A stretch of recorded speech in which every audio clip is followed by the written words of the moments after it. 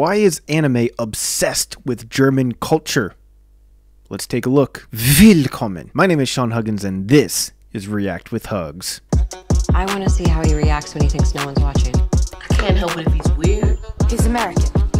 He's going crazy with that work. Everybody reacts differently. I think he's weird, but that's me. He's American, you know. Welcome to React with Huggs. Let's hop straight into today's comment of the day. So today's comment of the day comes from Jack Chaos, and they say it's versed, not versed. Why do English speakers struggle to pronounce umlauts and then pronounce them perfectly in the weirdest places? Uh, Jack Chaos, thank you for the comment. And to answer your question, this may come as a surprise to you, but we native English speakers don't actually have umlauts in our native language. Um, so not only are they difficult for us to pronounce because we aren't used to saying that kind of letter, e, e. We, we don't have that sound in our language, but also when learning a new language, sometimes you just kind of make mistakes, believe it or not. Much like uh, you misspelled chaos in your own name, Jack Chaos. So, let that be a lesson to you. Hmm. Anyways, let's hop into today's reaction. All right, so today we are taking a look at why is anime so obsessed with German culture? I have no idea. I do watch some anime, but not enough to really notice an obsession with German culture within the anime scene. So I would say I dabble. I dabble in anime, but I'm not a hardcore power user. So let's find out why the heck is anime so obsessed with German culture? Los geht's. Why is anime so obsessed with Deutschland?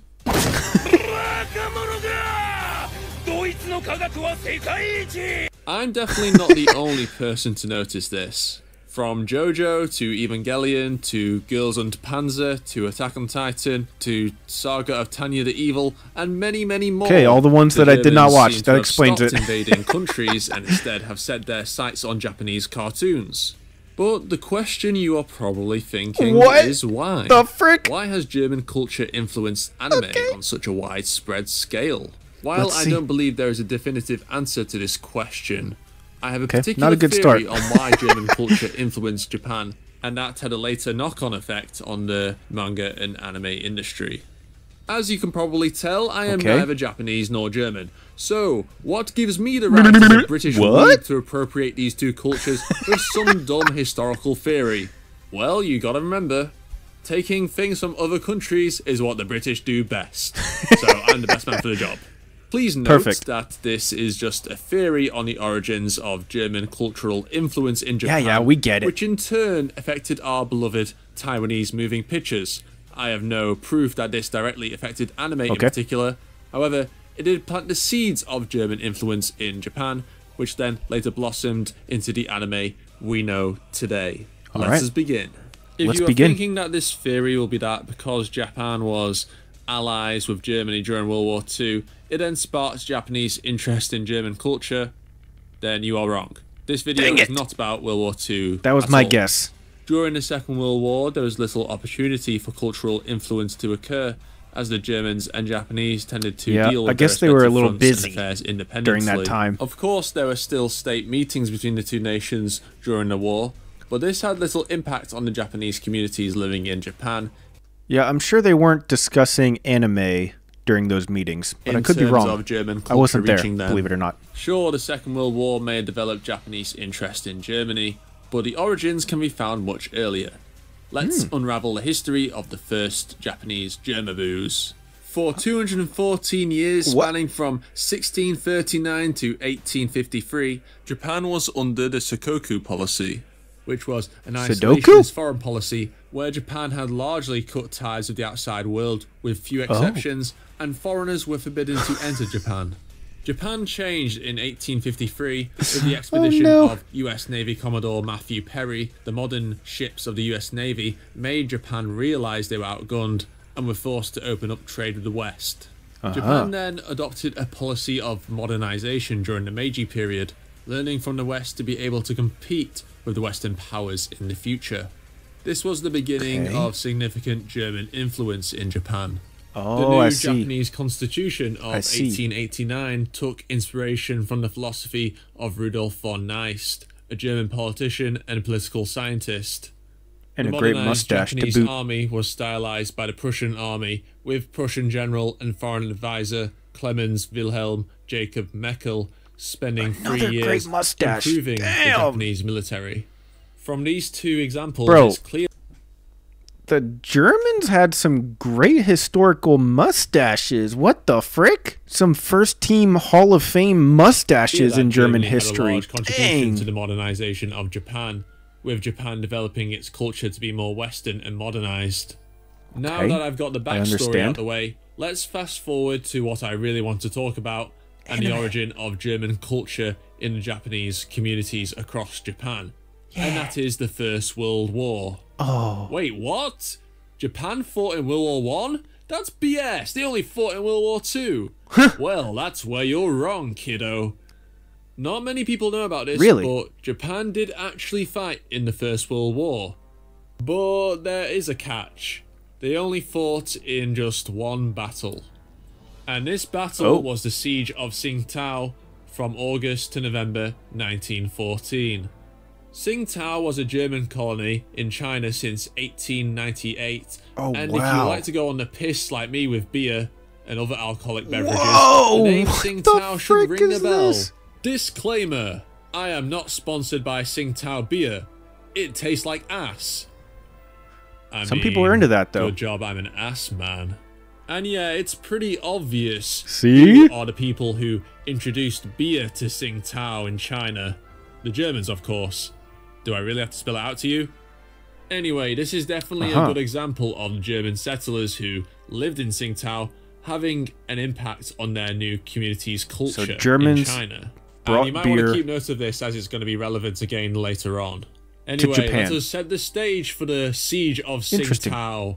Britain had just declared war on Germany in August 1914 and requested Japanese involvement in attacking Tsingtao.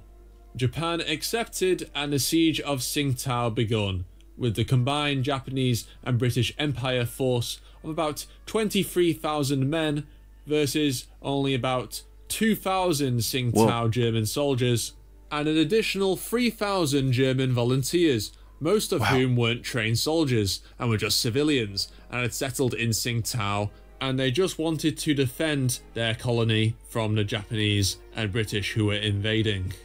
As you can probably tell, Okay, this battle was never going to end well for the Germans. of course. The Japanese were Heavily victorious outnumbered. due to their overwhelming numbers playing a large role, and the Germans suffering from the Anglo-Japanese naval blockade, starving the Germans hmm. of supplies and support.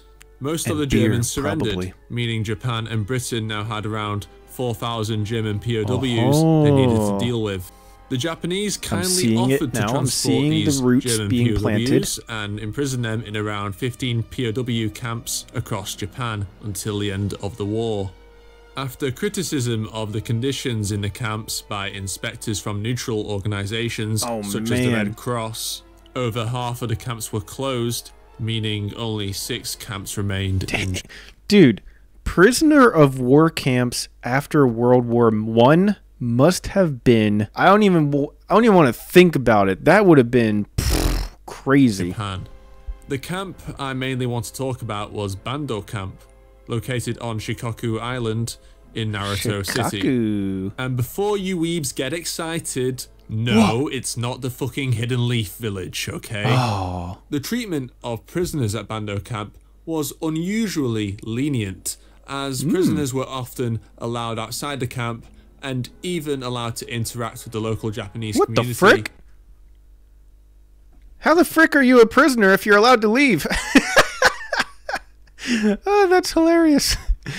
Oh my god, what? and work in the local factories. You're allowed to and leave and you're a prisoner? What's For going on here? the majority of the local Japanese community, this was the first time that they had interacted with foreigners. Wow. The German prisoners introduced their native culture More to the great local mustaches. Japanese. Beethoven's Ninth Symphony was played in Japan for the first time by the prisoners, Oh. and the prisoners built a German bridge which is still there today. German bridge. The. Germans taught the local Japanese how to bake bread, make cheese, Ooh. perform gymnastics, and play fuzzball, not soccer, you filthy Americans. In March it, 1918, caught astray. the prisoners hosted Ausstellung für die Bildkunst und Handfertigkeit. You don't want to know how many takes that took me to say that, because I don't speak German. But yeah, if you're German and you thought that was a bad pronunciation, let me know. But for those English speakers, it's the Visual Arts and Crafts Exhibition. This was an Oh, exhibition of show. German food, sport, handicraft, and music at the camp. You might festival. be thinking, Coachella. What attention would a small exhibition of under a thousand Germans actually contribute to Japanese cultural exchange? It's a great question. The not so Chinese cartoons and mangoes that I read in the present. Well, you know what? I'm glad you asked. this festival attracted Oh, approximately 50,000 visitors over the course of days. Bro, it is Coachella. Prince Naruhiko Higashikuni of the imperial family showed interest in the exhibition and wanted to bring it to the rest of Naruto City. Prince Naruhiko was the uncle-in-law of the future Emperor Hirohito and became Prime Minister okay, of Japan in 1945 interestingly enough. So while Hmm. this was just one camp in Japan, these German prisoners had a much larger impact on Japanese interest in German culture overall. Yeah, seriously. It is Dang. even said that these German prisoners introduced the first ever sausages to Japan. oh, And we know we all like a bit of sausage, don't we?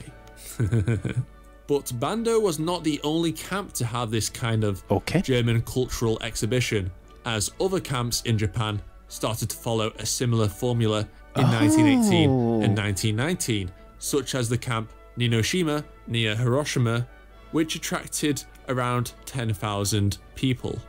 It Damn. became a nationwide cultural phenomenon. Prisoners started to be shipped back to Germany at the end of 1919. However, approximately 170 German prisoners actually decided to remain in Japan rather than go back to Germany, which was suffering from the aftermath of defeat from the First World War, and it was really not a nice place to live in at to that stay moment there? in time. What was truly significant about the German POWs in Japan was that it affected many local communities in Japan, and Of they had course. been exposed to foreign cultural exchange for the first time for many of them. Yeah. The- Dude, you got to imagine back in those days, in 1915 to 1920 range, dude, you were never going to see somebody that wasn't from your town. Maybe like three towns over, but like that's mostly it. And definitely not from a far away country. Like, it's just not happening for 99% of people. Like, having all these Germans show up with their cool mustaches must have been like, whoa, who the frick are these tall drinks of water walking all in here with their sausages and their beer? prior German reforms to Japan in the 19th century that I talked about earlier was a perhaps contributing factor towards Japanese interest in Germany, but that was less of a cultural exchange and more of a political and military reformation, which isn't Okay. really cultural exchange in my eyes. The German prisoners My not only too. influenced their local Japanese communities, but also contributed towards nationwide intrigue and fascination from the imperial family. Mm-hmm. So, I know what you're thinking. How does this all link to anime? During the 1910s, European cartoons were being introduced in Japan for the first time, which inspired the Oh, first wow. Japanese Look at this content. While German cartoons Wow. were shown back then, there were also French and British cartoons shown in Japan. So, why did anime and manga develop an interest in German culture as opposed to other cultures? That's Well, the I whole mean, video. You can Tell me. find countless other cultural influences in anime, such as American culture, but I was likely influenced by American involvement in Japan after World War II. So it's not exclusively German culture that's hinted at or referenced in anime. It's Okay. a variety of cultures, but certainly German culture is one of the most prevalent ones in anime. I mean, when you think about it, like if you watch anime at all, if you have looked for anime at all and you try to find a new anime to watch, you will know that there is basically an anime about anything and everything. Anything and everything has an anime about it. Like any place, any time period, any situation, anything, it's all been done before. So, of course, they're going to eventually get to Germany and do German culture stuff because German culture is so widely known throughout the entire world because it's so unique. Of course, there's going to be animes about it. If you're making animes about like a traveling salesman that that sells used sneakers for cats, you're kind of scraping the bottom of the barrel. You're going to make it about anything because everything is being made already. like when it comes to anime, it's actually insane. With the German POWs in Japan, thousands of Japanese became intrigued with German culture for the first time. And as time passed, the two countries became close allies via mutual beliefs of militarism and ethno nationalism. And we all know where that led to. In modern day Anime. Japan, the presence of the German prisoners that lived in Japan over 100 years ago has not been forgotten. Oh. The Bando camp was turned into a museum in 1972, Oh, and you can still visit it today. And a Japanese film to commemorate the German prisoners of Bando camp Wow. was released in 2006 called Baruto no Gakuen, meaning Ode to Joy, Beethoven's most famous piece. My theory is essentially that the impact of the German cultural exchange of this period continued to influence Japanese cultural interest for the coming decades. While there were anime released before and during World War II, anime only started to flourish into what we know today after World War II, especially in the 1950s, and the one famous anime studio you may have heard of was formed. And before you comment, I know I said at the start of the video I wouldn't talk about World War II. This was just one But- sentence and that's it. So leave me alone, thank you. Anyway, back to the point. As anime was heavily inspired by the European cartoons of the 1910s, it was only natural that anime and manga would take on German culture as a theme for many, Yeah. many shows. Of course. But that fascination with the culture blossomed out of the ashes of the First World War. And I admit, I have no factual way to prove this theory is true, as a theory Sounds like is facts just to me. a theory, and people die when they are killed. I have no concrete That maths sounds like a formula theory. to link this to anime and manga, and some of you might call me a lying clickbait bastard for doing that. But what is Yeah. undeniable is the contribution of the German prisoners towards not just Japanese interest in German culture. I haven't heard about this culture yet. as a whole. And if any Japanese media to come out of the early 20th century was influenced by foreign culture, it's those goddamn cartoons. if you enjoyed this video, please consider subscribing to the channel. What? What the frick is this? Is anime obsessed with N words? What the frick? I think we have another video to watch. We're gonna have to watch that one another time. Anyways, wow. Um, I like how he's like, I'm not gonna mention World War II or anything about them being allies during World War II, and then his theory is like, okay, World War One happened, and there were some POWs that had some influence, but then during World War II, they were close allies, and that's when they really started to like each other's cultures and. and that he kind of went back on his original statement. But yeah, I think that like German culture is so unique that everybody all over the world knows the German culture, especially nowadays. So of course, people are going to want to tell stories around the culture. Like there are a lot of countries, like if you just look at European countries, Germany in comparison has a very recognizable culture from most of the other European countries. And probably part of that is because of the coverage that Germany has gotten over the years in Western media. But it is also warranted because Germany does have a very unique culture in a lot of ways. But I don't know. That's just what I think.